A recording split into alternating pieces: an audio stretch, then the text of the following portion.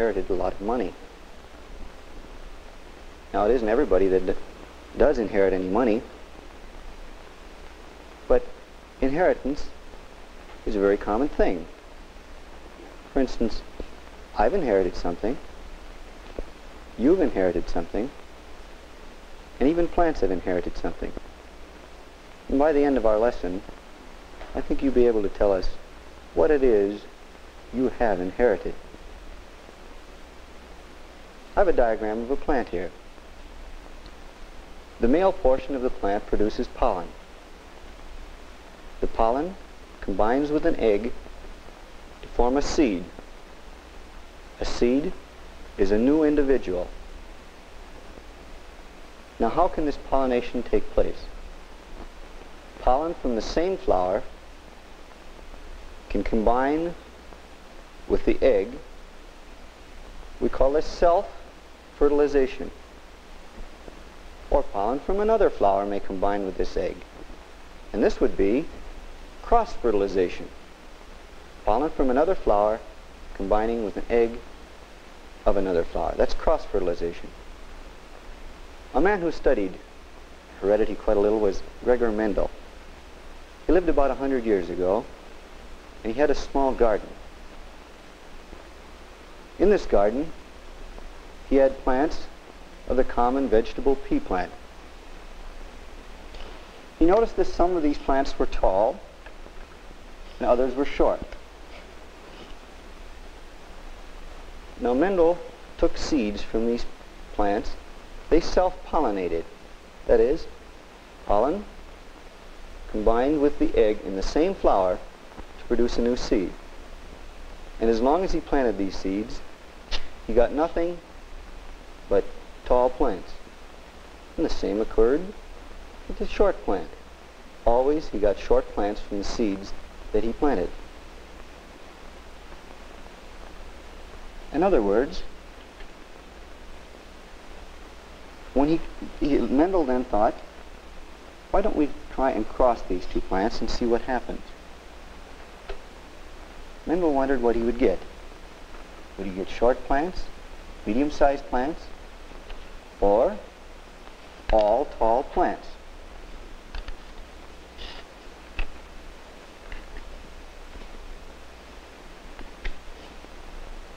Now Mendel then said that something was being covered up since the pollen came from the tall plants represented by capital T. And since it had two characteristics one from its pollen one from its egg and that the short plant also had two characteristics for shortness Mendel said that the tall characteristic was dominant over the short characteristic, which he said was recessive. Now, what did he mean by dominant and recessive? By a dominant characteristic, we mean that characteristic which covers up or masks out another characteristic.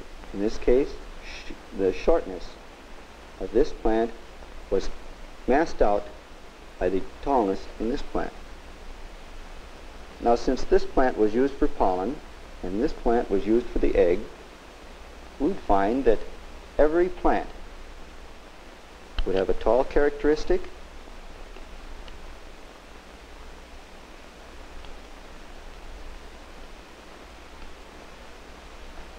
and a short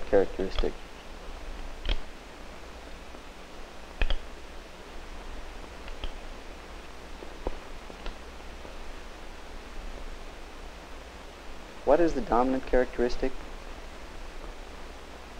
Tallness. It covers up the short characteristic. Mendel called these plants a hybrid. That is, a plant which differs when we, when we cross two plants with different characteristics, we get a hybrid. We cross tall and short, this is a hybrid. Mendel next crossed two of the hybrid plants. This time, he got three tall to each short plant. Perhaps we can see why. If we use this plant for pollen and this plant for the egg, this tall characteristic could combine with this tall characteristic to produce this kind of a plant. Or this tall characteristic could combine with this short characteristic to produce this plant. Or the tall characteristic in this egg could combine with the short characteristic in the pollen. Or two short characteristics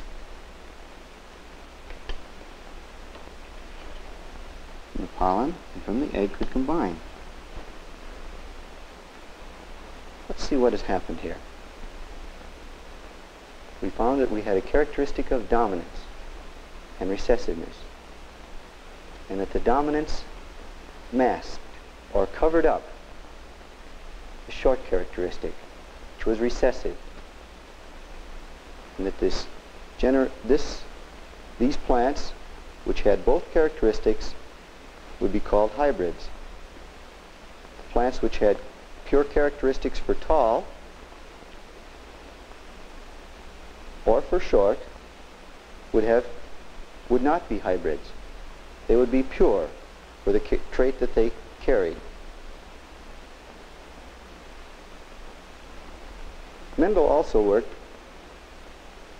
with the garden, with the, in his garden with four o'clock flowers. These flowers normally are red and white. But he didn't get characteristics which were tall, or which were dominant, excuse me, or recessive, but instead he got a blend, a mixture. No color, completely covered up the other one.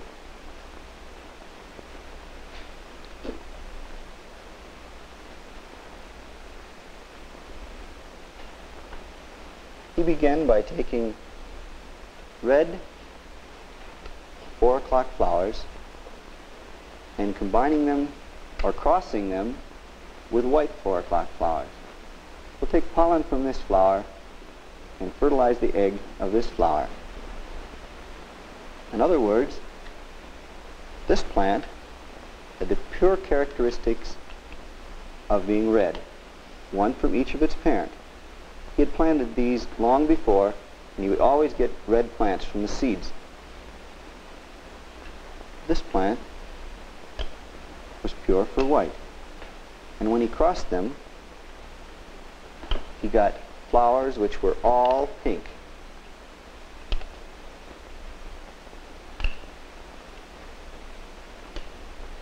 They were neither red nor white, but were a combination of the two. In other words, if the pollen came from this plant, each one of these flowers would have a red characteristic. And each one of them would have a characteristic for white. From the egg, that would be, wouldn't it? Mendel, again, crossed these hybrids. This is a hybrid, isn't it? Because it comes from a cross between two plants which have different characteristics. This would be the hybrid. He crossed this hybrid to produce seeds. And the seeds, when planted, produced one red flower,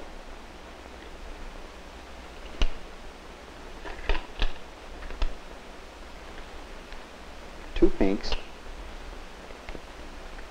and one white. Then, let's see why. This pollen grain from this plant carry a red could combine also with the pollen, with the egg we'd have a pure red plant this pollen grain for redness could combine with this characteristic of whiteness in the egg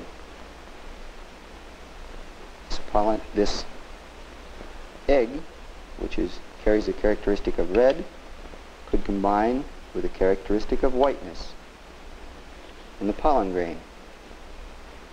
And the pollen grain for whiteness could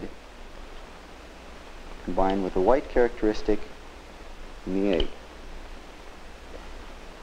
Mendel said that this was not dominant and recessive characters, but instead was a blend there's something very important about this because in a blend we can always tell which is the hybrid. Those that are pink are the hybrid because they blend red color and white color.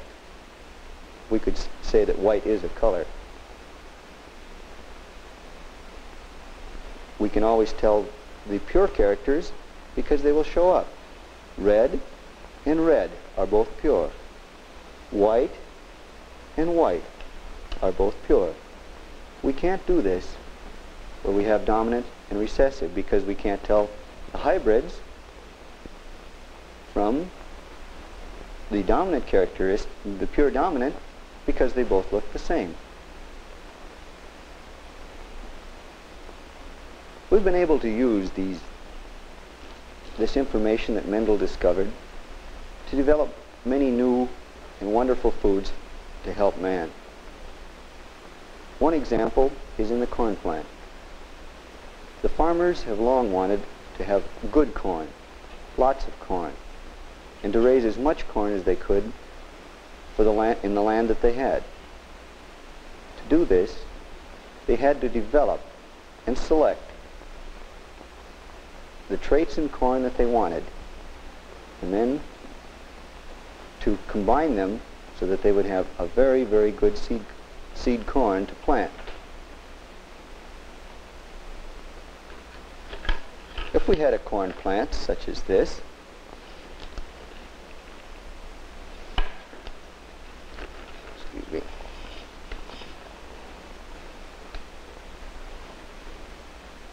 perhaps we can improve on this. We would want to have the plant taller this corn is too low and the mechanical corn pickers can't pick it up. So perhaps we can make a taller plant.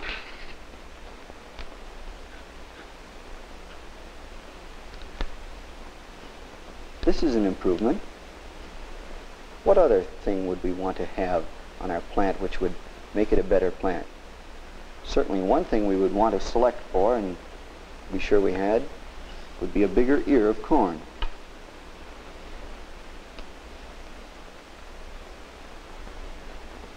Perhaps we could also improve the root system. This plant could topple over in a wind because it is not, does not have a good anchor in the roots. So we could give it a better root system by selecting only those plants which had good root systems. And the root system would be able to gather more moisture and minerals for the plant. One other characteristic which we would want to select in our plant would be a strong stalk so that when this fellow, called the European corn, bear, corn borer, burrowed into the stalk, the stalk would keep from breaking off and instead would stand and produce an ear of corn. By taking these characteristics and many more, man has been able to select a better ear of corn through combining these characters, making them pure, combining them to, so we finally have corn hybridization.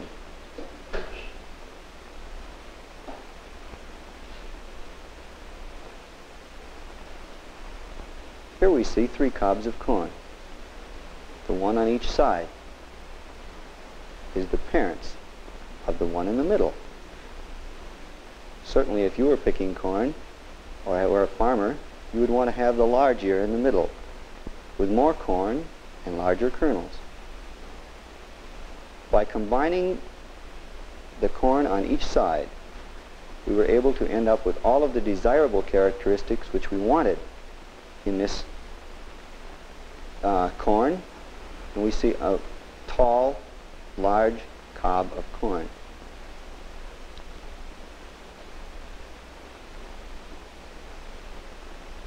So far, we have thought that the only way we can produce a new plant is by seed. But sometimes, but very rarely, sometimes a characteristic is different from either of its parents. In other words, it inherits a characteristic which it has a characteristic which, it, which it did not inherit from either of its parents. This is called a mutation. Let's do that again. Mutation is a characteristic which is not inherited from either of its parents. One of these mutations, or changes, involved the seedless grape. A grape without seeds. Let me show you.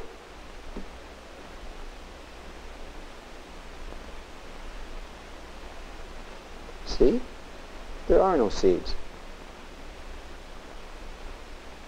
But this one, crush it here, does have seeds. There's one. Can you see it?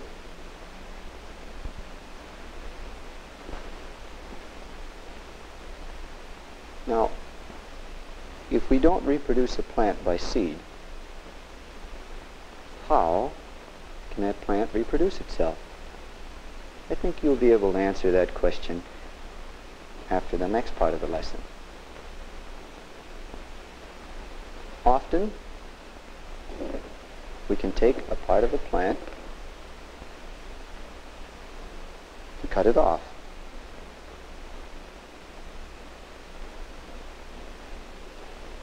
Would clip off flowers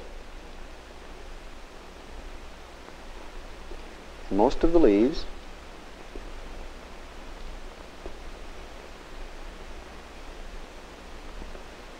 and place this piece of stem in moist sand.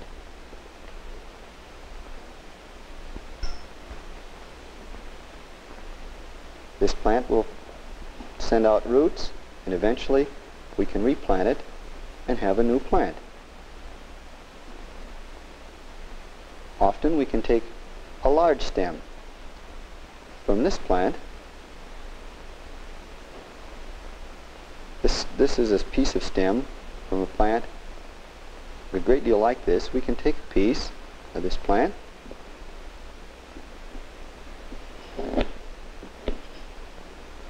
cut it off. And then we must look for a bud on here. Here's one here. Just a very small little raised part of the surface. Place it on its side, cut lengthwise.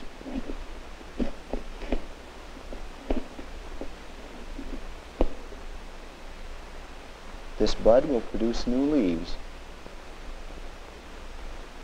This part of the surface to produce roots. Let me place it in the moist sand. Over a period of time, we could get a new plant. This is one which was planted several weeks ago. And you will notice that it has a good root system already developed.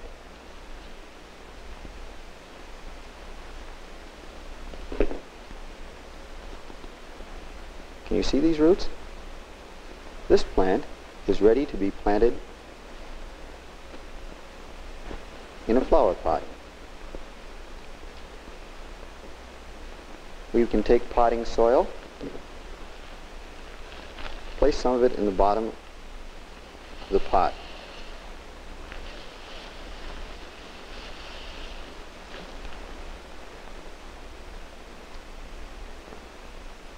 Place the plant so that the crown is about an inch. That's this is the crown. Place it about an inch below the edge of the pot and then fill it up. Oops, my bag leaked here.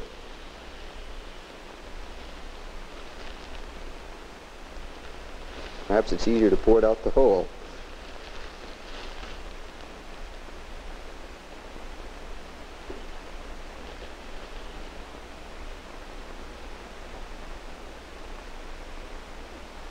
And then, by placing a little water on it, the plant will continue to grow. You notice that our soil is about an inch below the edge of the pot. This is so that we can add water. One other way, other than stems, to produce plants is by taking a leaf. This is an African violet. Your mother may have them at home. We took a leaf from it,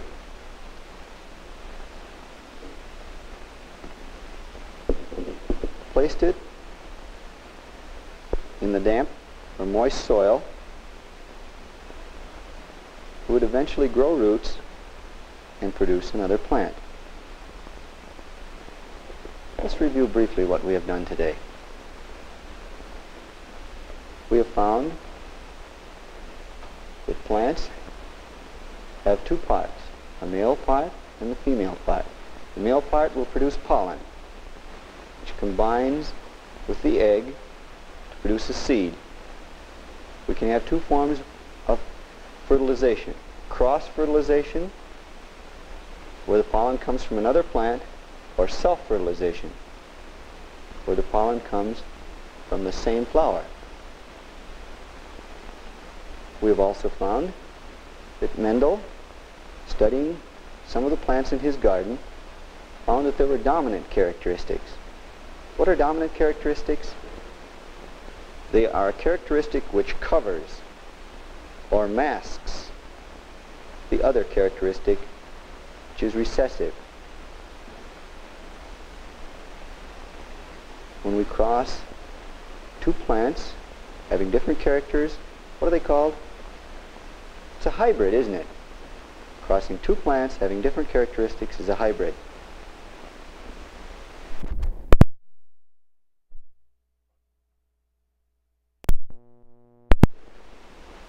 They are a characteristic which covers or masks the other characteristic which is recessive.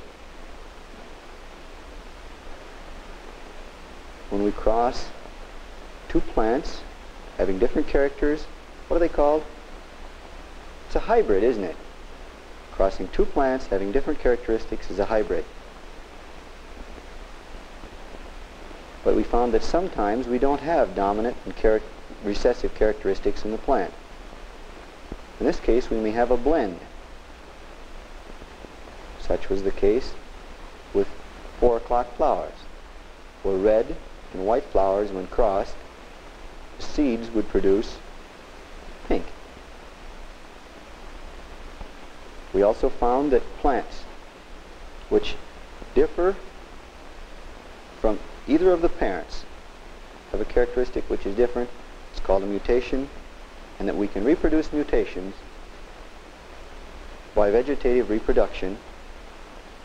Now, can you tell me what characteristics have you inherited?